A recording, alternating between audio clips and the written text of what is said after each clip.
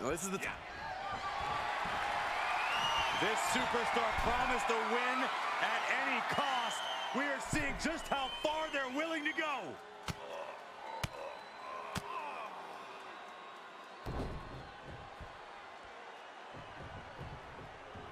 Brock.